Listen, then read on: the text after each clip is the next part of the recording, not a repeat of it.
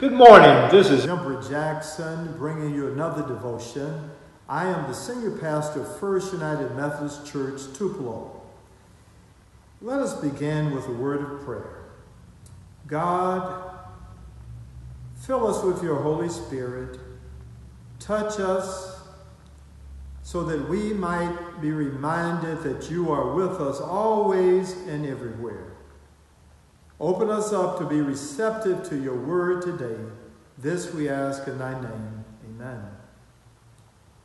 I'd like to begin a reading from Psalm 118, verse 14, reading from the New International Version of the Bible. Again, Psalm 118, verse 14 from the New International Version of the Bible. The Lord is my strength and my defense. He has become my salvation. Let me read that once again. The Lord is my strength and my defense. He has become my salvation. As human beings, we all need extra strength.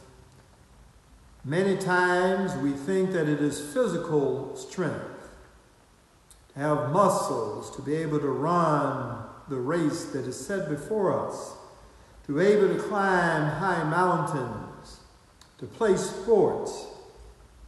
But in this case, the psalmist is talking about the fact that we all need strength in this life because life brings difficulties.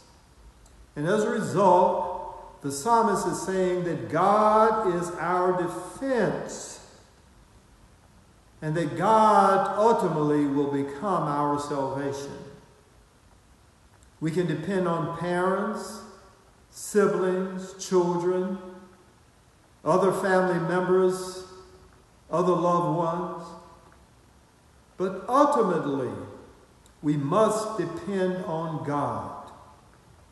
When the troubles of life overwhelm us, when we feel burdened and pressed down, the psalmist is reminding us that God is truly our strength and our salvation and our defense in times of trouble.